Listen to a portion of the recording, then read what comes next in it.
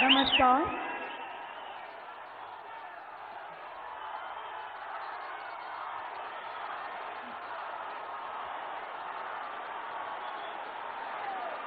नमस्कार जनमानस के सपनों को सच का प्रकाश देने वाले हिंदुस्तान को सर्वोच्च शिखर पर ले जाने के लिए प्रतिबद्ध राष्ट्रीय स्वाभिमान के प्रतीक माननीय प्रधानमंत्री, माननीय श्री नरेंद्र मोदी जी के आगमन से हम सब गौरवान्वित हैं। भारत के माननीय प्रधानमंत्री द्वारा आंध्र प्रदेश के लोगों को दस हज़ार सात सौ करोड़ से अधिक की सात बुनियादी विकास परियोजनाओं का शिलान्यास एवं लोकार्पण कर देश के नाम समर्पित करने के कार्यक्रम में माननीय प्रधानमंत्री महोदय जी का आभार व्यक्त करते हुए हार्दिक स्वागत करते हैं।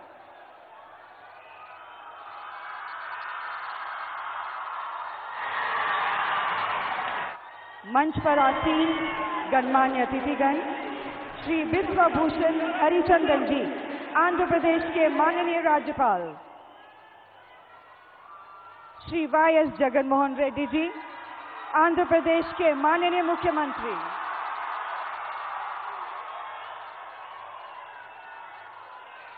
श्री अश्विनी वैष्णव जी, माननीय केंद्रीय मंत्री, रेल संचार एवं इलेक्ट्रॉनिक्स और सूचना प्रौद्योगिकी भारत सरकार का भी हम हार्दिक अभिनंदन करते हैं।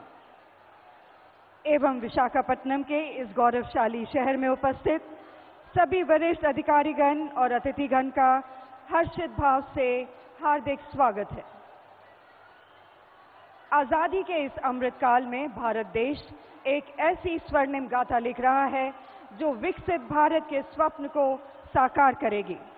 और देश में तेज़ी से आगे बढ़ रहे शहरों में विशाखापट्टनम, यानी सिटी ऑफ़ डेस्टिनी का नाम भी शामिल है।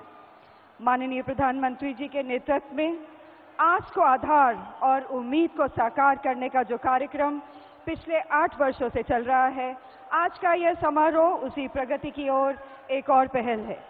आज के इस भव्य समारोह में भारत के माननीय प्रधानमंत्री जी के दिशा निर्देश में, उनकी गरिमामयी उपस्थिति में कई वर्षों की लंबी प्रतीक्षा के बाद विशाखापट्टनम के वासियों का सपना साकार होने जा रहा है।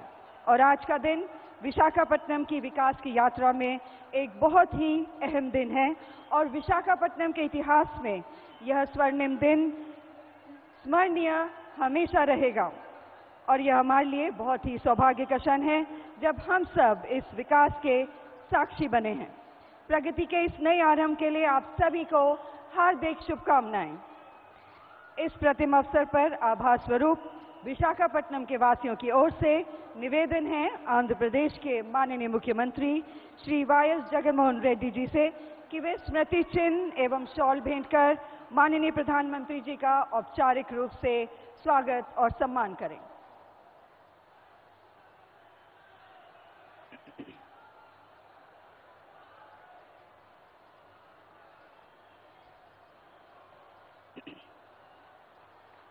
एक बार जोरदार तालियाँ। माननीय प्रधानमंत्री जी के स्वागत में।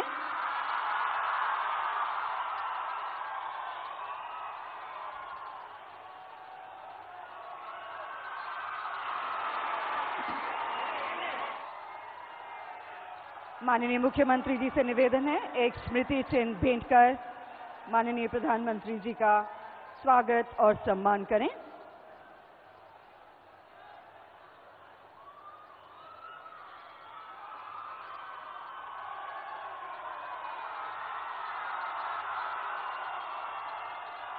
हार्दिक धन्यवाद। माननीय प्रधानमंत्री जी तथा गणमान्य अतिथिगण का स्वागत। और आज के इस भव्य समारोह की महत्ता पर प्रकाश डालने के लिए आमंत्रित करना चाहेंगे श्री अश्विनी वैष्णव जी, माननीय केंद्रीय मंत्री, रेलवे संचार एवं इलेक्ट्रॉनिक्स और सूचना प्रौद्योगिकी भारत सरकार को।